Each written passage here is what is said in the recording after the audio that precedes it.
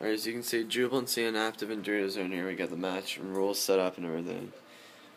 And then they're not they've not been joining our game.